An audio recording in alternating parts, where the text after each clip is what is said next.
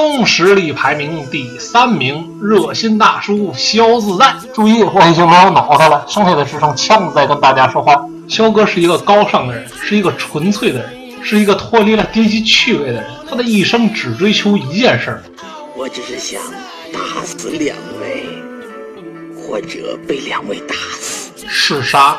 陈斗片中，在面对茅山道士赵归真时，毫无保留地把这种纯粹发挥得淋漓尽致。如果把沙玉比作食欲，那肖哥是个顶级的美食家，旅游自带烹饪工具，现寡人蝎子。为了保证食材的新鲜，还刻意给赵归真带上了葡萄糖和氧气。肖自在是十老之一解空大师的弟子，早年因为难以控制住自己的欲望而拜入佛门，而他的师傅解空大师以前是少林武僧，对肖哥使用的攻击。方方式也全都是少林功夫，目前已知的技能皆为少林七十二绝学中如大慈大悲掌、龙爪手、莲花指等等，破坏力之强，仅几招就打碎了赵归真十几年练出的法器五帝钱。一招龙吸水就废了赵归真用七个孩子蓄的功力，一掌击飞拥有护身法器的马村长，远了用大慈大悲掌攻，近了有龙吸水，闪避有体术高，挨打有金钟罩。而且最关键的是，他是一个纯粹的人，一个脱离了低级趣味的人。雷烟炮高宁。曾这么形容过老天师，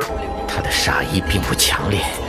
但无比纯粹，这句话也适用于肖哥，只不过要稍微改改。他的杀意非常强烈且非常纯粹。肖哥对待烹饪这件事上非常有兴趣，而且非常专注，这就造成了他在战斗过程中不会受到任何情绪影响，怜悯、恐惧、悲伤通通不存在。他的心里只有一件事，就是把你抬走。哎，这么强的人，你才把他排第三，我咔大巨人真香。很多人把肖哥排在第一名，是因为把他的欲望和实力挂钩了。在动漫或者电影中，一个手段残忍的人。往往具备很强的实力，但这并不代表他是最强。就像超人和小丑，如果真单论作战实力的话，小丑一定赢不了。他和黑管更像一个顶尖的刺客和顶尖的战士之间的对比，两个人的硬实力几乎难分伯仲。但是到最后，小胜的往往都是那个战士。至于为什么，到时候我会说。所以综上所述，我把肖哥排在了第三名。肖自在是个恶人，而且是天生的恶人，就像他自己说的：“生我者不可，因为双亲都已故去。”生我者未知，因此不敢有后。愚者无不可。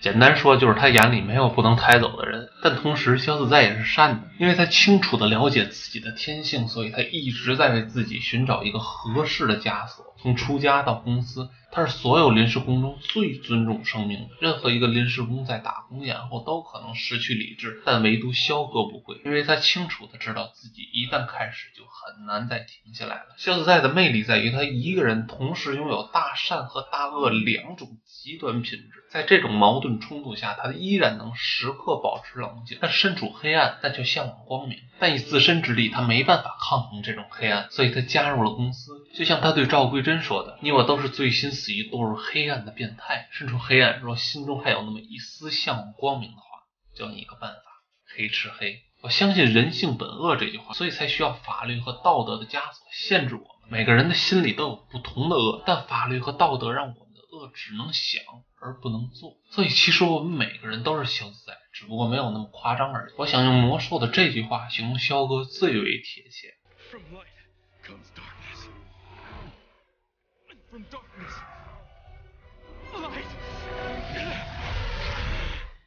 最后，白师傅，你嘛时才是进门第一呀？就在今天。